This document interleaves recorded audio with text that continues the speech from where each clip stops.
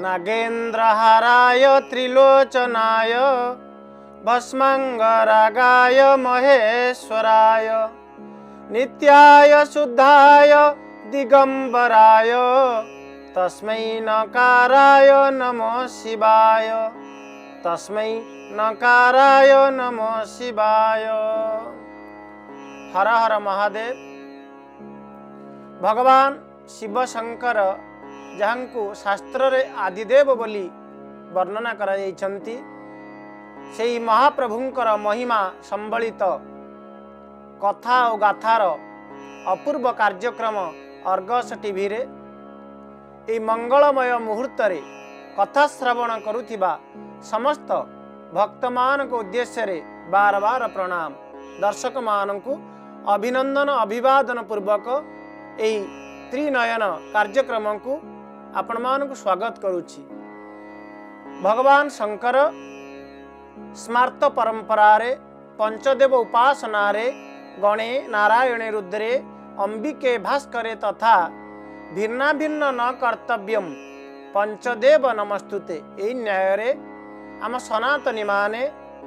ଗଣେଶ ନାରାୟଣ ବିଷ୍ଣୁ ଦୁର୍ଗା ଏବଂ ଶିବଙ୍କୁ ପଞ୍ଚଦେବ ଉପାସନାରେ ଯେଉଁଭଳି ଆରାଧନା ନିରାଜନା ଏବଂ ଉପାସନା କରିଥାନ୍ତି ତାହା ବିରଳ ଅଟନ୍ତି ଭଗବାନ ଶିବଙ୍କର ମହିମା ଗାରିମା ମାଧୁରିମା ଅନେକ ଶାସ୍ତ୍ର ପୁରାଣରେ ବର୍ଣ୍ଣନା କରାଯାଇଅଛନ୍ତି ସତ ରଜ ତମ ଏ ତିନି ଗୁଣକୁ ଆଧାର କରି ଅଠରଟି ପୁରାଣ ଏ ଅଷ୍ଟାଦଶ ପୁରାଣ ବା ଅଠରଟି ପୁରାଣରେ ଭଗବାନ ଶିବଙ୍କର ବହୁବିଧ ଗୁଣକୀର୍ତ୍ତନ କରାଯାଇଛନ୍ତି।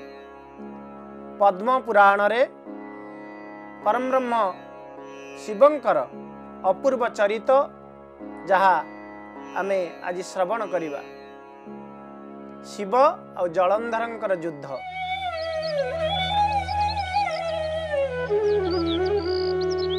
ବ୍ରହ୍ମାନନ୍ଦନ ନାରଦ। ଭଗବାନ ଶିବଙ୍କର ମହତ୍ଵ ପୃଥୁଙ୍କୁ ବୁଝଉଛନ୍ତି। ପୃଥୁ ହାତ ଯୋଡ଼ିଲେ। ହାତ ଯୋଡ଼ି ନାରଦଙ୍କୁ ତଦ୍ବିଧି ପ୍ରଣିପାତେନ ପରିପ୍ରଶ୍ନେନ ସେବୟା ନ୍ୟାୟରେ କୃତାଞ୍ଜଳି ପୁଟରେ ବଧାଞ୍ଜଳି ମୁଦ୍ରାରେ ପ୍ରଣାମ ନିବେଦନ ପୂର୍ବକ କହୁଛନ୍ତି ନାରଦଙ୍କ ନିକଟରେ ହେ ମହାଭାଗ ଦୟାପୂର୍ବକ ଆପଣ ମୋତେ କୁହନ୍ତୁ ଯେଉଁ ପରମାତ୍ମା ଶିବ ଯିଏ ସଚରାଚର ଜଗତର ଇଷ୍ଟ ଯିଏ ଦେବତାମାନଙ୍କ ଭିତରେ ଶ୍ରେଷ୍ଠ ଦେବଦେବ ମହାଦେବ ତାଙ୍କ ସହିତ କେଉଁ କାରଣରୁ ବା କେଉଁ ଉଦ୍ଦେଶ୍ୟରେ ଜଳନ୍ଧର ଯୁଦ୍ଧ କଲେ? ଆଉ ଇଏ ଜଳନ୍ଧର କିଏ? ୟାଙ୍କର ଇତିବୃତ୍ତ ମୋ ଆଗରେ ବର୍ଣ୍ଣନା କରନ୍ତୁ। ଏ କଥାକୁ ଶୁଣିବା ପରେ ନାରଦ ପୃଥୁଙ୍କ ଆଗରେ ସବିଶେଷ ଭାବରେ ଏହି ତତ୍ତ୍ୱ ଆଉ ତଥ୍ୟକୁ ବର୍ଣ୍ଣନା କରୁଅଛନ୍ତି। ପ୍ରଥମେ ଆମେ ଦେଖିବା ଜଳନ୍ଧରଙ୍କର ଜନ୍ମ ବୃତ୍ତାନ୍ତ। ଏକଦା ଦେବଗୁରୁ ବୃହସ୍ପତିଙ୍କ ନିକଟରେ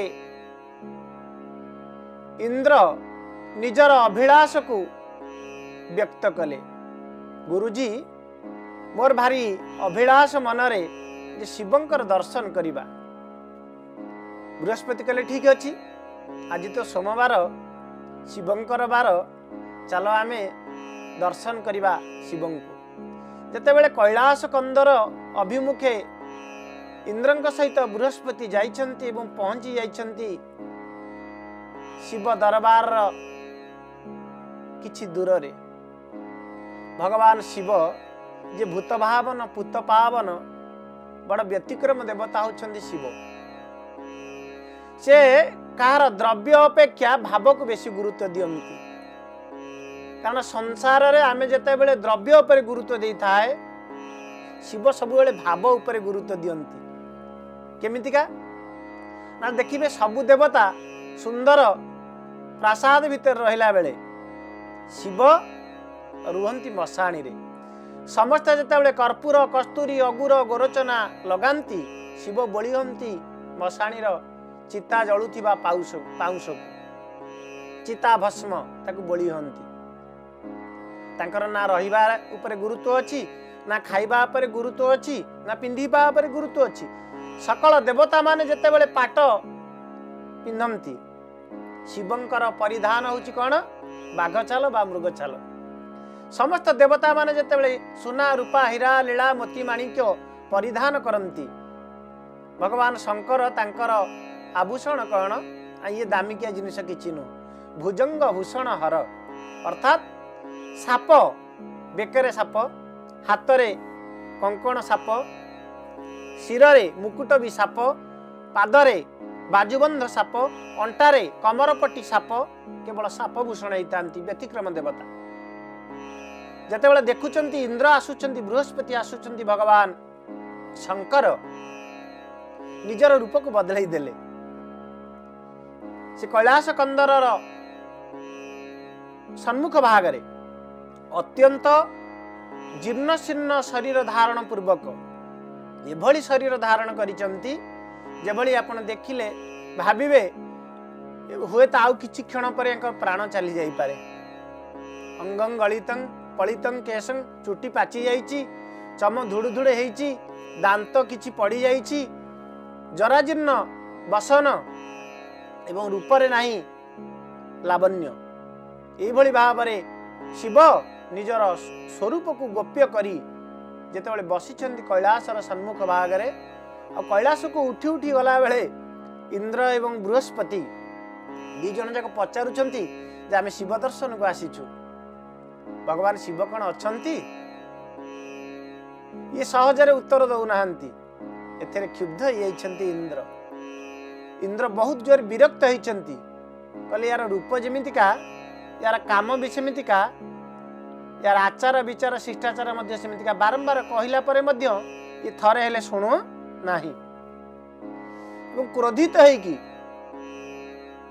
ଇନ୍ଦ୍ର ଅନେକ କୁ ଭାଷା ପ୍ରୟୋଗ କରିଛନ୍ତି ସେ ଭାଷାକୁ ଶୁଣିଲା ପରେ ମୁରୁକି ମୁରୁକି ହସୁଛନ୍ତି ଭଗବାନ ଶଙ୍କର ଯେ ଏଇ ଦିନ ଦଳିତ ନିଷ୍ପେଷିତ ଶରୀର ଧାରଣ କରି ଇନ୍ଦ୍ରଙ୍କୁ ପରୀକ୍ଷା କରିବା ପାଇଁ ବସିଛନ୍ତି କୈଳାସର ସମ୍ମୁଖରେ। ବାସବଙ୍କ ବଚନେ ହସନ୍ତି ସଦା ଶିବ। ଉତ୍ତର ନ ଦେଇ ମନେ ରହିଲେ ନୀରବ। ଶିବ ଅନେକ କଥା ଶୁଣିଲେ ସହନଶୀଳ ଦେବତା ହଉଛନ୍ତି ଶିବ ବହୁତ ସହିବେ। ତାଙ୍କର କାହାର ନିନ୍ଦା କାହା ପ୍ରଶଂସାରେ କିଛି ଫରକ ପଡ଼େ ନା ତେଣୁ ଶିବ ସବୁ ଶୁଣିଲେ ଆଉ କିଛି ବି ଉତ୍ତର ଦେଲେ ନାହିଁ। ଇନ୍ଦ୍ରଙ୍କୁ ଆହୁରି କଷ୍ଟ ହେଲା କହିଲେ ଆରେ ଏତେ କଥା କହିଲା ପରେ ଶୁଣୁନି କିଛି। ଏ କ'ଣ କାଲା ନା କ'ଣ ଜଡ଼ା ନା କ'ଣ? ତାକୁ କ'ଣ ଶୁଭୁନି ନା କ'ଣ? ପୁନରପି ସୁନାଶିର ବୋଲନ୍ତି ବଚନ। ଉତ୍ତର ନ ଦେଉ କିମ୍ପା ବଧିର ତୋ କାନ ଇନ୍ଦ୍ର କ୍ରୁ- କ୍ରୁଦ୍ଧ ହେଇ ରାଗି ଯାଇ ଅତ୍ୟନ୍ତ କଟୁକ୍ତି କହୁଛନ୍ତି। ଏବଂ ଶେଷରେ ଇନ୍ଦ୍ର ଏତେ କ୍ରୋଧିତ ହେଇଛନ୍ତି ନିଜର ବଜ୍ରକୁ ଧରି ଶିବଙ୍କର ଠାରେ ପ୍ରହାର କରିଛନ୍ତି। ଇନ୍ଦ୍ରଙ୍କର ବଜ୍ର ପ୍ରହାର ଯେତେବେଳେ ଶିବଙ୍କ ଠାରେ ହେଇଛି ଶିବଙ୍କର କଣ୍ଠ କଳା ପଡ଼ିଗଲା। ଭଗବାନ ଶିବ ଯିଏ ପ୍ରଳୟର ଦେବତା ଯିଏ କ୍ରୋଧ କଲେ ସମଗ୍ର ସୃଷ୍ଟିକୁ ବିଲୀନ କରିପାରନ୍ତି ତାଙ୍କୁ ପୁଣି ଇନ୍ଦ୍ର ବଜ୍ର ପ୍ରହାର କରିଛି ସମ୍ଭାଳି ପାରିଲେନି ଭଗବାନ ଶଙ୍କର ନିଜର ସେହି ଗୁପ୍ତ ରୂପକୁ ପରିତ୍ୟାଗ କରି ସାକ୍ଷାତ ନିଜର ସ୍ୱରୂପକୁ ପ୍ରକାଶ କଲେ। ଆଉ ସେ ସ୍ୱରୂପକୁ ଦେଖିଲା ପରେ ଇନ୍ଦ୍ର ଯିଏ ଦେବରାଜ ଇନ୍ଦ୍ର ଯାହାଙ୍କର ମନରେ ପ୍ରଚୁର ଅହଙ୍କାର ଗର୍ବ ଆଉ ବିକାର ଭୟରେ ଥରିଲେ। ମସ୍ତକେ ମଣି ଫଣି କୁଣ୍ଡଳ ମୋତିହାର। ଦେଖି କରି ଭୟରେ ଥରିଲା ସୁନାସିର। ସୁନାସିରଙ୍କୁ ରକ୍ଷଣେ ଗୁରୁ ବୃହସ୍ପତି ଶିବ ସାନ୍ନିଧ୍ୟରେ ସେହୁ କଲେ ବହୁ ସ୍ତୁତି। ଭଗବାନ ଶିବ ଯେଭଳି ଭାବରେ ରାଗିଥିଲେ ଇନ୍ଦ୍ରଙ୍କର ଚରମ ଦୁର୍ଦ୍ଦଶା ଘଟିଥାନ୍ତା। କିନ୍ତୁ ରକ୍ଷା ହେଇଛି। ପାଖରେ ଗୁରୁ ବୃହସ୍ପତି ଅଛନ୍ତି। ଗୁରୁ ବୃହସ୍ପତି କୃତାଞ୍ଜଳି ପୁଟରେ। ଶିବଙ୍କ ନିକଟରେ ଆଣ୍ଠୁ ମାଡ଼ି ପ୍ରଣାମ କରୁଛନ୍ତି ସ୍ତବ ସ୍ତୁତି କୀର୍ତ୍ତନ କରୁଛନ୍ତି ଯେ ଭଗବାନ ଆପଣ ଚରାଚର ଜଗତର ରକ୍ଷାକର୍ତ୍ତା ପାଳନକର୍ତ୍ତା ସଂହାରକର୍ତ୍ତା ସକଳ ଦେବଗଣ ଦେବ ଋଷି ପ୍ରଜାପତି ଲୋକପାଳ ଗଣ ପିତୃସିଦ୍ଧ ବିଦ୍ୟାଧର ଗନ୍ଧର୍ବ ଚାରଣ ଯକ୍ଷ ରାକ୍ଷସ କିନ୍ନର ନାଗନର ଅନନ୍ତ ବ୍ରହ୍ମାଣ୍ଡର ଠାକୁର ହେ ଶିବଶଙ୍କର କୃପା କର ଦୋଷକୁ ମାର୍ଜନା କର ପ୍ରଭୁ ଯାହା ଇନ୍ଦ୍ର ଅପରାଧ କରିଛନ୍ତି ଆପଣ କ୍ଷମା କରନ୍ତୁ ଶିବଙ୍କର ଆଉ ଗୋଟେ ନାଁ ହେଉଛି ଆଜ୍ଞା ଆଶୁତୋଷ। ବହୁତ ରାଗିଥିବେ ହଠାତ୍ ସନ୍ତୋଷ ହେଇଯିବେ। ଠିକ୍ ସେୟା ମଧ୍ୟ ହେଲା। ଶଙ୍କର ପ୍ରଭୁ ମହାଦେବ ସାଙ୍ଗେ ସାଙ୍ଗେ ସନ୍ତୁଷ୍ଟ ହେଲେ ବୃହସ୍ପତିଙ୍କର ଏଇ ପ୍ରାର୍ଥନାରେ। ଆଉ ଯୋଉ ଶିବଙ୍କ କଣ୍ଠରେ ଯୋଉ ଇନ୍ଦ୍ରଙ୍କର ବଜ୍ର ବାଜିଲା ବେକରେ ବାଜିଲା ପରେ ଯୋଉ ଅଗ୍ନି ଜାତ ହେଲା ସେ ଅଗ୍ନିକି କୋଉଠିକି ପଠେଇବେ? ତାକୁ ତ ପୁଣି କୋଉ ଜାଗାକୁ ପଠେଇବାକୁ ପଡିବ ନା? କାରଣ ତାର ତେଜ ସମଗ୍ର ପୃଥିବୀକୁ ବ୍ୟାପିଗଲା। ଶିବଙ୍କ କଣ୍ଠରେ ଯେଉଁ ଅଗ୍ନି ଜାତ ହେଲା ଧରିତ୍ରୀ ଆକାଶ ବ୍ୟାପୀ ତେଜ ପ୍ରକାଶିଲା ଗଙ୍ଗା ସାଗର ଯେ ବଣ ଠାରେ ହୁଅନ୍ତି ଭେଟ। ସେ ଅଗ୍ନି କି ଫିଙ୍ଗି ଦେଲେ ତହିଁର ନିକଟ। ଗଙ୍ଗା ସାଗର ସଙ୍ଗମ ସେଇ ସ୍ଥାନକୁ ସେଇ ଅଗ୍ନିକି ପଠେଇ ଦେଲେ। ସେ ରୁଦ୍ର ନଳ ଜଳ ମଧ୍ୟରେ ପଡ଼ିଲା। ବାଳକର ରୂପ ଗୋଟି ତକ୍ଷଣେ ହୋଇଲା। ଜଳର ମଧ୍ୟରୁ ଯେଣୁ ହେଲା ଅବତାର ତେଣୁ କରି ନାମ ଗୋଟି ହେଲା ଜଳନ୍ଧର।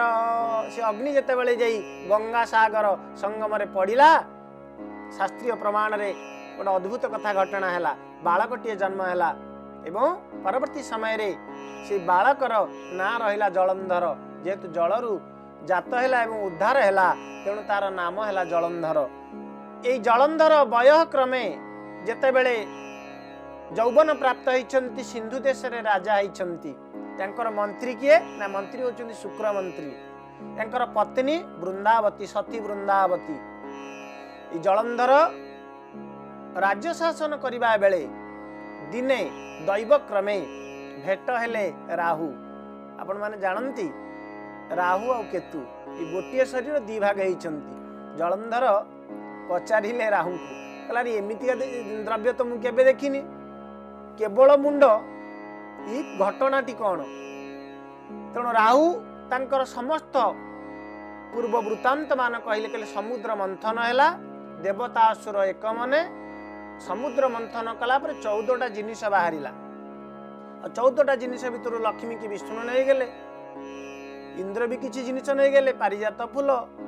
ଠାରୁ ଆରମ୍ଭ କରି ଯେତେ ଯେତେ ଭଲ ଭଲ ଜିନିଷ ସବୁ ଇନ୍ଦ୍ର ବି ନେଇଗଲେ ମଦ ବାହାରିଲା ତାକୁ ମିଶିକିରି ଅସୁରମାନେ ପିଇଦେଲେ ନା ତାପରେ ନା ଯେତେବେଳେ ଅମୃତ ବାହାରିଲା ବିଷ୍ଣୁଙ୍କର କୂଟ ବିଷ୍ଣୁଙ୍କର କପଟ ହେତୁ ଦି ଭାଗ କରି ବସେଇ ଦେଲେ ଗୋଟେ ପଟେ ଦୈତ୍ୟ ଗୋଟେ ପଟେ ଦେବତା। ଆଉ ସେ ସମୟରେ ରାହୁ କ'ଣ କରିଥିଲେ ନା ନିଜର ରୂପକୁ ପରିବର୍ତ୍ତନ କରି ଛଦ୍ମ ରୂପରେ ଦେବତାମାନଙ୍କ ପାଖରେ ବସିଥିଲେ। ଫଳରେ ବିଷ୍ଣୁ ସୁଦର୍ଶନ ଚକ୍ର ଦ୍ୱାରା ଦୁଇ ଖଣ୍ଡ କରିଦେଲେ। ଖଣ୍ଡେ ହେଲା ରାହୁ ଆଉ ଖଣ୍ଡେ ହେଲା କେତୁ। ଏଇ ପ୍ରସଙ୍ଗକୁ କହୁଛନ୍ତି ରାହୁ କାହା ଆଗରେ ନା ସିନ୍ଧୁ ଦେଶର ରାଜା ଜଳନ୍ଧରଙ୍କ ସମ୍ମୁଖରେ? ଜଳନ୍ଧର କହିଲେ ଏମିତିକା କଥା। ଦେବତାମାନେ ଏଭଳି ଘଟଣା କରିଛନ୍ତି ବିଷ୍ଣୁ ଏମିତିକା କରିପାରନ୍ତି। ଛଳ ବଳ କଳ କୌଶଳ କୂଟ କପଟରେ ଧୁରନ୍ଧର ପୁଣି ଯିଏ ବସିଥିଲା ଅମୃତ ଖାଇବା ପାଇଁ ତାକୁ ଦଣ୍ଡ ସ୍ୱରୂପ ଶରୀରକୁ ଦୁଇ ଖଣ୍ଡ ଠିକ ଅଛି। ଏହାର ପ୍ରତିକାର ସ୍ୱରୂପ ବିଷ୍ଣୁଙ୍କ ପାଖକୁ ଖବର ଯିବା ଦରକାର। ଦୂତ ପଠେଇଲେ କାହା ପାଖକୁ? କହିଲେ ଦୂତମାନେ ତୁମେ ଯାଅ। ବିଷ୍ଣୁଙ୍କର ଏଇ ଯୋଉ ଘଟଣା ସମ୍ପର୍କରେ ଅବଗତ କରାଅ ଇନ୍ଦ୍ରଙ୍କୁ। ସମୁଦ୍ରରୁ ଯୋଉ ଚଉଦ ଜିନିଷ ବାହାରିଥିଲା ଭଲ ଭଲ ଜିନିଷ ଇନ୍ଦ୍ର ନେଇଯାଇଛନ୍ତି ତାଙ୍କୁ ଖବର ଦିଅ। ସବୁ ସେ ଫେରେଇବେ। ଯଦି ନ ଫେରେଇବେ ତାହେଲେ ଯୁଦ୍ଧ ହବ। ଯେତେବେଳେ ଇଏ ଘଟଣା ଦୂତ ପାଖ ଦୂତ ଠାରୁ ଶୁଣିଲେ ଇନ୍ଦ୍ର ଇନ୍ଦ୍ର ହଠାତ୍ ଏ ଘଟଣାକୁ ଗ୍ରହଣ କରିପାରିଲେନି। ଅବଶ୍ୟ ଯୁଦ୍ଧ ହବ ଏଇ ନାରା ଦେଇ। ଇନ୍ଦ୍ରଦେବ ଯେତେବେଳେ ବାହାରିଛନ୍ତି ଯୁଦ୍ଧରେ ବିଷ୍ଣୁ ଦେବତା ମାନଙ୍କର ପକ୍ଷ ନେଇଛନ୍ତି। ଆଉ ଯୁଦ୍ଧ ହେଇଛି ଗୋଟେ ପଟେ ଦେବତା ଆଉ ଗୋଟେ ପଟେ ଜଳନ୍ଧର। ଆଉ ସେ ଯୁଦ୍ଧରେ ଜଳନ୍ଧର ଏତେ ପରାକ୍ରମୀ ଏତେ ତେଜିଆନ ଶିବ ତେଜରେ ଏତେ ତେଜିଆନ ଯାହାର ପରିଣାମ ସ୍ୱରୂପ ଜଳନ୍ଧର ଯୁଦ୍ଧରେ ବିଷ୍ଣୁଙ୍କୁ ଜିତିବା ଭଳି ଅବସ୍ଥା ହେଲା। ବିଷ୍ଣୁ ଚିନ୍ତା କଲେ ଯଦି ମୁଁ ଏହା ପାଖରେ ହାରିଯିବି ତାହେଲେ ଗୋଟେ ଅପକୀର୍ତ୍ତି ରହିବ। ତେଣୁ ଭଗବାନ ବିଷ୍ଣୁ ତାଙ୍କର ମାୟା ତ ସ୍ୱତନ୍ତ୍ର ମାୟା ବୈଷ୍ଣବୀ ମାୟା ଯେଉଁ ବୈଷ୍ଣବୀ ମାୟାକୁ ହର ବ୍ରହ୍ମା ଆଦି ବୁଲୁଛନ୍ତି ଭୁଆଁ ବିଷ୍ଣୁ ଚିନ୍ତା କଲେ କହିଲେ ଶୁଣ ଜଳନ୍ଧର ତମକୁ ଗୋଟେ କଥା କହିବି। ନା କ'ଣ କଥା? ନା ତମେ ଜନ୍ମ ହେଇଛ ସମୁଦ୍ରରୁ। ନା ହଁ? ନା ଲକ୍ଷ୍ମୀ ଜନ୍ମ ହେଇଛନ୍ତି କୋଉଠୁ? ଜଳନ୍ଧର କହିଲେ ସମୁଦ୍ରରୁ। ନା ତାହେଲେ ତମର ବାପା ସମୁଦ୍ର? ଅର୍ଥାତ୍ ବରୁଣ। ଲକ୍ଷ୍ମୀଙ୍କର ବାପା ବି ବରୁଣ। ତମେ ଲକ୍ଷ୍ମୀଙ୍କର କ'ଣ ହବ ନା ଭାଇ ହେବି? ନା ତମେ ଯଦି ଲକ୍ଷ୍ମୀଙ୍କର ଭାଇ ହବ ତାହେଲେ ଲକ୍ଷ୍ମୀ ହେଉଛନ୍ତି ମୋର ପତ୍ନୀ। ସମ୍ପର୍କ ଦୃଷ୍ଟିରୁ ତୁମେ ମୋର ମଧୁର ସମ୍ପର୍କ। ଶାଳକ ହବ। ମୋର ପତ୍ନୀଙ୍କର ଭାଇ ହେଲେ କ'ଣ ହବ? ଶାଳକ ହବ? ଆମେ ଆଉ ଯୁଦ୍ଧ କରିବାନି। ଜଳନ୍ଧର କହିଲା ଠିକ୍ ଅଛି। ଯଦି ଆପଣ ମୋତେ ବନ୍ଧୁ ରୂପରେ ସ୍ୱୀକାର କରୁଛନ୍ତି ତାହେଲେ ଶତ୍ରୁତା କରିବାର କିଛି ଆବଶ୍ୟକତା ନାହିଁ। ଏଇ ନ୍ୟାୟରେ ଯୁଦ୍ଧକୁ ଏକ ରକମର ସ୍ଥଗିତ କରି ଦିଆଗଲା ଏବଂ ଜଳନ୍ଧର ନିଜ ରାଜ୍ୟକୁ ନେଇଗଲେ ଲକ୍ଷ୍ମୀଙ୍କୁ ଏବଂ ନାରାୟଣଙ୍କୁ। ଜଳନ୍ଧର ରାଜ୍ୟ ଶାସନ କରିବା ସମୟରେ ଦିନେ ହଠାତ୍ ନାରଦ ଆସି ପହଞ୍ଚିଲେ। ନାରଦ ଜଳନ୍ଧରଙ୍କୁ ବହୁତ ପ୍ରଶଂସା କଲେ। କହିଲେ ମୁଁ ଯେତେ ଜାଗା ବୁଲିଲି ଇନ୍ଦ୍ରପୁର ବ୍ରହ୍ମପୁର ଠାରୁ ଆରମ୍ଭ କରି ଗୋଲକ ପର୍ଯ୍ୟନ୍ତ ଏ ସବୁ ଜାଗା ଅପେକ୍ଷା ତମର ରାଜ୍ୟଟା ବହୁତ ଭଲ। କିନ୍ତୁ ଗୋଟାଏ ଜିନିଷ ନିଅଣ୍ଟିଆ ଅଛି। ଜଳନ୍ଧର ଚାହିଁଲେ ନାରଦଙ୍କୁ। କହିଲେ କ'ଣ ମହାମୁନି? କ'ଣ ସେ ଜିନିଷ? ନା ସବୁ ଅଛି। କିନ୍ତୁ ଅପୂର୍ବା ଅନିନ୍ଦ୍ୟ ସୁନ୍ଦରୀ ପାର୍ବତୀ ତମ ପାଖରେ ନାହାନ୍ତି? ଜଳନ୍ଧର ପଚାରିଲେ ସେ କୋଉଠି ରହନ୍ତି? ନା ଶିବଙ୍କ ପାଖରେ ପାର୍ବତୀ ଅଛନ୍ତି। କିନ୍ତୁ ପ୍ରକୃତରେ ଶିବ ହଉଛନ୍ତି ଯୋଗୀ। ବାବାଜୀ ଲୋକ ତାଙ୍କର ମଶାଣୀରେ ରହୁଛନ୍ତି। ଆଉ ପାର୍ବତୀ ଏତେ ସୁନ୍ଦରୀ। ସଂସାରରେ ତାଙ୍କ ଭଳି କଳନା ଆଉ କେହି କରିହେବନି। ତାଙ୍କର ରୂପର କଳନା କରିହେବନି। ଯଦି ତୁମେ କୌଣସି ପ୍ରକାରେ ପାର୍ବତୀଙ୍କୁ ଆଣି ତୁମ ଇଏ ରାଜ୍ୟରେ ରଖନ୍ତ ତାହେଲେ ବୋଧହୁଏ ସାରା ଚତୁର୍ଦ୍ଦଶ ବ୍ରହ୍ମାଣ୍ଡରେ ତୁମେ ସବୁଠୁ ବେଶୀ ପ୍ରଶଂସା ପାଆନ୍ତ। ନାରଦଙ୍କ ମୁହଁରୁ ଏ କଥା ଶୁଣିଲା ପରେ ଜଳନ୍ଧର ଦୂତ ପଠେଇଲେ ରାହୁଙ୍କୁ। ରାହୁଙ୍କୁ ଖବର ଦେଲେ ଯାଇ ଶିବଙ୍କୁ ଦେଖା ହୁଅ ଆଉ ତାଙ୍କୁ କହିଦେବ ଯେ ସେ ପାର୍ବତୀକି ମୋତେ ଆଣି ଦେଇଦେବେ। ଯେତେବେଳେ ସେ ରାହୁ ଏଇ କଥା ଯାଇ କୈଳାସରେ ଭଗବାନ ଶଙ୍କରଙ୍କ ପାଖରେ ପ୍ରଣାମ ନିବେଦନ ପୂର୍ବକ ହାତ ଯୋଡ଼ିକିରି କହିଲା ମଣିମା ରାଜା ଜଳନ୍ଧର ପଠେଇଛନ୍ତି।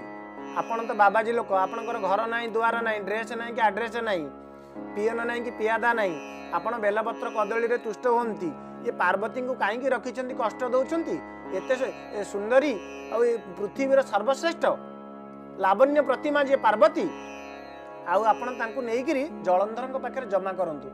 ଯଥାଶୀଘ୍ର ଜଳନ୍ଧରଙ୍କର ଇଏ ହେଉଛି ଆଜ୍ଞା। ଶିବ ବସିଥିଲେ ବସିବା ଜାଗାରୁ ଚିହିକିରି ଉଠିଲେ କହିଲେ ଇଏ ବଦମାସ ତୁ ଯେଭଳି ଶବ୍ଦ ଉଚ୍ଚାରଣ କରିଛୁ ତତେ ଦଣ୍ଡ ହେଉଛି ମୃତ୍ୟୁଦଣ୍ଡ। ଯେତେବେଳେ ଶିବଙ୍କର କୋପକୁ ଦେଖିଛନ୍ତି ରାହୁ ହାତ ଯୋଡ଼ିଦେଲେ କହିଲେ ମଣିମା ମୁଁ ଚାକର ବାକର ଲୋକ ମୁଁ ଦୂତ। ମୋତେ ଯାହା କହିଲେ ମୁଁ ସେୟା କହିଲି। ଆଉ ମୋତେ ଆପଣ କାହିଁକି ମାରିବେ? ମୋତେ ବରଂ ଛାଡ଼ି ଦିଅନ୍ତୁ ଯାହା ଦଣ୍ଡ ଦେବା କଥା ସିଆଡ଼େ ବ୍ୟବସ୍ଥା କରନ୍ତୁ। ରାହୁଙ୍କୁ ଭଗବାନ ଶଙ୍କର ଛାଡ଼ିଦେଲେ। କିନ୍ତୁ ନିଜ କ୍ରୋଧରୁ ଏକ ଶକ୍ତି ସୃଷ୍ଟି କଲେ ଯାହାଙ୍କୁ କୀର୍ତ୍ତିମୁଖ ବୋଲି କୁହାଯାଏ ସେ କୀର୍ତ୍ତିମୁଖ ଯାଇ ପହଞ୍ଚିଲେ ଜଳନ୍ଧରଙ୍କ ସହିତ ଏବଂ ଯୁଦ୍ଧ ହେଲା। ଭଗବାନ ଶଙ୍କର ନିଜେ ମଧ୍ୟ ସେ ଯୁଦ୍ଧକୁ ବାହାରିଲେ। ନିତ୍ୟ ନିରନ୍ତର ଅନେକ ଦିନ ଧରି ସେ ଯୁଦ୍ଧ ଶିବଙ୍କର ଏବଂ ଜଳନ୍ଧରଙ୍କର ଲାଗି ରହିଲା। ଚକ୍ର ନାରା ଚମୁଷଳ ବିନ୍ଧା ବିନ୍ଧି ହେଲେ। ମିଶାମିଶି ହୋଇଣ ସେ ଘୋର ଯୁଦ୍ଧ କଲେ ଗୋଟା ପଟେ ଅସୁର ସୈନ୍ୟ ଆଉ ଗୋଟା ପଟେ ଶିବଗଣ ରୁଦ୍ରଗଣ ତା ଭିତରେ ଅଛନ୍ତି ଗଣେଶ କାର୍ତ୍ତିକେୟ ନନ୍ଦୀ ଭୃଙ୍ଗୀ ମଣିଭଦ୍ର ବୀରଭଦ୍ର ଅନେକ ରୁଦ୍ର ପାର୍ଶ୍ୱଦ। ଆଉ ସେପଟେ ନାନାଦି ଅସୁରମାନେ। ଯୁଦ୍ଧ ଘୋରତର ଭୟଙ୍କର ହେଲା। ଧରା ଧରିତ୍ରୀ ଧରଣୀ ପ୍ରକମ୍ପିତ ହେଲା। କମ୍ପମାନ ହେଲା ଯୁଦ୍ଧରେ। ବାଜଇ ଯେ ବୀର ବାଜା ଟମକ ନିଶାଣ। ଶବଦରେ ତିନି ପୁର ହୁଏ କମ୍ପମାନ। ପଡ଼ିଲା ଅସଂଖ୍ୟ ମଡ଼ା ପୁରିଲା ଧରଣୀ। ବହିଲା ରକତ ନଦୀ ସମୁଦ୍ରକୁ ଜିଣି କିନ୍ତୁ ଯୁଦ୍ଧର ପରିସମାପ୍ତି ହେଲା ନାହିଁ। ଘୋର ଭୟଙ୍କର ଭାବରେ ଯୁଦ୍ଧ ସରୁନାହିଁ କି ଜଳନ୍ଧର ମରୁନାହିଁ ଶିବ ହାରୁନାହାନ୍ତି କି ଜଳନ୍ଧର ହାରୁନାହାନ୍ତି କ'ଣ ହବ ପାର୍ବତୀ ଜଣେଇଲେ ବିଷ୍ଣୁଙ୍କୁ କହିଲେ ପ୍ରଭୁ ବାଟ କରନ୍ତୁ।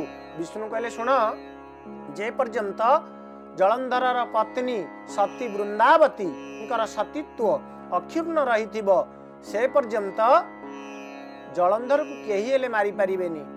ପାର୍ବତୀ କହିଲେ ପ୍ରଭୁ ଆପଣ କରଣମ୍ କାରଣମ୍ କର୍ତ୍ତା ବିକର୍ତ୍ତା ଗହନ ଗୁହମ୍ ଆପଣ ଚାହିଁଲେ ସକଳ ଅସମ୍ଭବକୁ ସମ୍ଭବ କରିପାରିବେ।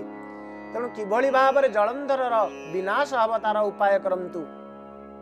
ଏଇ ବିନତିକି ନିବେଦନକୁ ସ୍ୱୀକାର ପୂର୍ବକ ଭଗବାନ ବିଷ୍ଣୁ ପହଞ୍ଚିଲେ ଜଳନ୍ଧରର ରାଜ୍ୟରେ।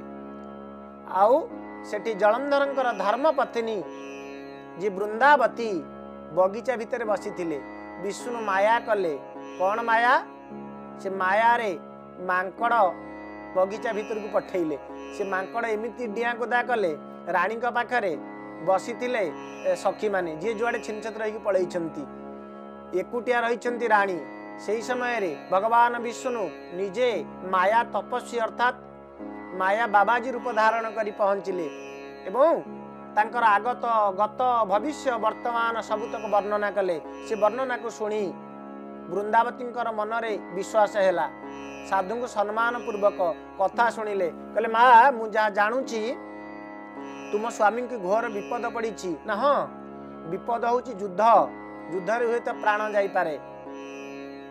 ଏମିତି କଥା ହଉ ମାୟାରେ ଭଗବାନ ବିଷ୍ଣୁ ଜଳନ୍ଧରଙ୍କର କଟା ମୁଣ୍ଡ ଆଣିକିରି ସେଠି ପକେଇଲେ। ସେ ମୁଣ୍ଡକୁ ଦେଖି ଯେତେବେଳେ ବ୍ୟାକୁଳ ହେଇଛନ୍ତି ବୃନ୍ଦାବତୀ ଯେତେବେଳେ କ୍ରନ୍ଦନ କରୁଛନ୍ତି ମାୟା ସ୍ୱରୂପ ଧାରଣ କରିଥିବା ଭଗବାନ ବିଷ୍ଣୁ କହିଲେ ଗୋଟେ କାମ କର ତୁମେ ଆଖି ବୁଝ ମୁଁ ଚାହିଁଲେ ତାକୁ ବଞ୍ଚେଇ ଦେବି। ଏବଂ ଆଖି ବୁଝିଛନ୍ତି ବୃନ୍ଦାବତୀ ଭଗବାନ ବିଷ୍ଣୁ ନିଜେ ସନ୍ନ୍ୟାସୀ ରୂପ ଧାରଣ କରି କହିଲେ ମାରେ ମୁଁ ୟାକୁ ବଞ୍ଚେଇବି ସିନା ବଞ୍ଚେଇ ଦେଲା ପରେ ତୁ ମୋତେ ଆଉ ଖୋଜିଲେ ପାଇବୁନି। ବୃନ୍ଦାବତୀ କହିଲେ ସେୟା କରନ୍ତୁ। ମୁଁ ଆଖି ବୁଝୁଛି ମୋ ସ୍ୱାମୀକି ବଞ୍ଚେଇ ଦିଅନ୍ତୁ। ବିଷ୍ଣୁ ତାଙ୍କର ମାୟା ରଚନା କଲେ ହେ ଲୀଳାମୟ ତୁମ ଲୀଳା କିଏ ବୁଝିବ? ଲୀଳା ନିଧି ଲୀଳା ରଚି ଲୀଳା କରିବ। ହେ ଲୀଳାମୟ ତୁମ ଲୀଳା କିଏ ବୁଝିବ? ବିଷ୍ଣୁ ମାୟାରେ ନିଜକୁ ଅନ୍ତର୍ହିତ କରି ସେ କଟା ମୁଣ୍ଡ ଜାଗାରେ ନିଜେ ସାକ୍ଷାତ ଜଳନ୍ଧର ରୂପ ଧାରଣ କଲେ। ଯେମିତି ଜଳନ୍ଧରଙ୍କର ସ୍ୱରୂପକୁ ଶରୀରକୁ ଦେଖିଛନ୍ତି ବୃନ୍ଦାବତୀ ହା ନାଥ ହା ପ୍ରାଣନାଥ କହି କୋଳାଗତ କରିଛନ୍ତି ଏବଂ ନେଇଯାଇଛନ୍ତି ଅନ୍ତପୁରକୁ। ପରିଣାମ ସ୍ୱରୂପ କ'ଣ ହେଲା ନା ବୃନ୍ଦାବତୀଙ୍କର ସେ ଯେଉଁ ଅକ୍ଷୁର୍ଣ୍ଣ ସତୀତ୍ୱ ତାହା କ୍ଷୁର୍ଣ୍ଣ ହେଲା। ଏବଂ ପରବର୍ତ୍ତୀ ସମୟରେ ବୃନ୍ଦାବତୀ ଜାଣିପାରିଲେ ଇଏ ମୋ ସ୍ୱାମୀ ନୁହଁ। କହିଲେ ତମେ କିଏ? ମୋ ସହିତ ଛଳନା କରିଛ। ସତ କୁହ ତୁମେ କିଏ? ଭଗବାନ ହସିଲେ। ହସି ହସିକିରି ଆବିର୍ଭାବ ହେଲେ। ହେଲେ ଆଜାନୁଲମ୍ବେ ଭୁଜ ଚାରି ଶଙ୍ଖ କମଳ ଚକ୍ରଧାରୀ ବିକଚ ଶ୍ଵେତ ପଦ୍ମଡୋଳ। ପରମାତ୍ମା ଅପୂର୍ବ ଅନିନ୍ଦ ସୁନ୍ଦର ରୂପକାନ୍ତିକେ ଧାରଣ ବିକଚ ଶ୍ଵେତ ପଦ୍ମଣ୍ଡଳା ଭଗବାନ ଯେତେବେଳେ ଆବିର୍ଭାବ ହେଇଛନ୍ତି ବୃନ୍ଦାବତୀ କହିଲେ ପ୍ରଭୁ ଆପଣ ମୋ ସାଙ୍ଗରେ ମାୟା କଲେ ଆଉ ଇଏ ମାୟାର ସ୍ୱରୂପ ଆପଣ ପରବର୍ତ୍ତୀ ସମୟରେ ଏହାର ପରିଣାମ ଭୋଗିବେ ଏପଟେ ଯେହେତୁ ବୃନ୍ଦାବତୀଙ୍କର ସତୀତ ଅକ୍ଷୀର୍ଣ୍ଣରୁ କ୍ଷୀର୍ଣ୍ଣ ଆଡ଼ିକି ଯାଇଛି ଯୁଦ୍ଧରେ ଭଗବାନ ଶଙ୍କରଙ୍କ ଦ୍ୱାରା ଜଳନ୍ଧରଙ୍କର ବିନାଶ ହେଇଛନ୍ତି ପଦ୍ମ ପୁରାଣରେ ବର୍ଣ୍ଣିତ ଏହି ପ୍ରସଙ୍ଗକୁ ଅ, ମହର୍ଷି ନାରଦ ମହାମୁନି ପୃଥୁ ରାଜାଙ୍କୁ କହୁଥିଲେ ଏବଂ ଏହି ଅମୀୟ କଥା ଆପଣମାନେ ପବିତ୍ର ଶ୍ରାବଣ ମାସରେ ଅର୍ଗସ ଟିଭି ମାଧ୍ୟମରେ ଶୁଣୁଛନ୍ତି। ଭଗବାନଙ୍କର ଶିବଙ୍କର ପରମ ଏବଂ ଚରମ କୃପା ପ୍ରାପ୍ତ ହୁଅନ୍ତୁ। ନମ ଶିବାୟ ନମ ଶିବାୟ ଓଂ ନମ ଶିବାୟ।